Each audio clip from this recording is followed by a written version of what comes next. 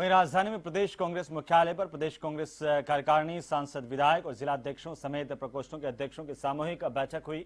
इस बैठक में आगामी विधानसभा चुनाव को लेकर के चर्चा की गई। इस दौरान प्रदेशाध्यक्ष सचिन पायलट ने सभी नेताओं को विधानसभा चुनाव में जुटने का आह्वान किया है। पायलट ने कहा कि समय कम है और हमें अपनी जीत की शुरुआत बूथ स्तर तक करनी है। और इस दौरान विधानसभा चुनाव को लेकर के कांग्रेस ने मेरा बूथ, मेरा गौरव के माध्यम से चुनाव में जीत हासिल करने की तैयारी की है। सोमवार को हुई बैठक में दो संभागों की घोषणा की गई है। सबसे पहले कोटा संभाग में 23 अप्रैल को इसका शुभारंभ किया जाएगा। इसके बाद 26 अप्रैल को उदयपुर संभाग में इसकी शुरुआत की जाएगी।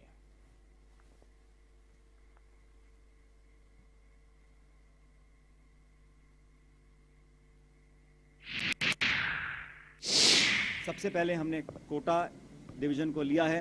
तेईस अप्रैल को यहाँ पर सभा होगी, उसके पश्चात 26 अप्रैल को उदयपुर में होगी, फिर मई के महीने में बाकी संभागों में हम कार्यक्रम करेंगे। उद्देश्य ये है कि कांग्रेस की रीति नीति और आने वाले चुनावों में कांग्रेस किन मुद्दों को लेकर जनता के बीच में जाएगी, उस पर हम संदेश वर्कर्स को देंगे और हम लोगों ने बहुत मेहनत कर कर अपने बूथ की टीम गठित करी है। अब उस टीम को और तीव्रता देने के लिए, उन लोगों को और संकल्पित कर कर मैदान में उतारने के लिए इस सभाओं का आयोजन किया जा रहा है।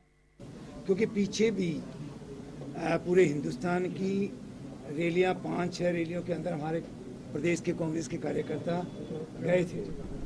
उसी तादाद के अंदर एक, एकता और संगठन के साथ में, एक जोश और खरोश के साथ में हमारा राजस्थान प्रदेश का कांग्रेस का कार्यकर्ता उस रैली में भाग ले आज यहाँ पर प्रदेश कांग्रेस कमेटी ने जो सात संभागीय मेरा बूथ, मेरा गौरव, ये जो कार्यक्रम हमारे सात संभागों में होने जा रहे हैं, उसका ऐलान यहाँ पर पहले दो जो सभाएँ होने जा रही हैं कोटा में तेईस सितंबर तेईस अप्रैल को और 26 अप्रैल को उदयपुर में। इन दो सभाओं की तिथि आज यहाँ घोषित कर दी गई है। प्रदेश अध्यक्ष जी ने सभी से बात किया, वो आपको बतलाएँगे कि इसकी तैयारी किस प्रकार से होगी। लेकिन हमारी कोशिश यही होगी कि इसमें प्रदेश के सभी शीर्ष नेतागण और हमारे सबसे नीचे इकाई का सबसे महत्वपूर्ण जो हमारा अंग है, बूथ का कार्यकर्ता, वो इसमें एकत्र हो, जहाँ पर राहुल जी का संदेश और हमारे प्रदेश के नेताओं का इस प्रदेश के बारे में उनकी संकल्पना और उनका विजन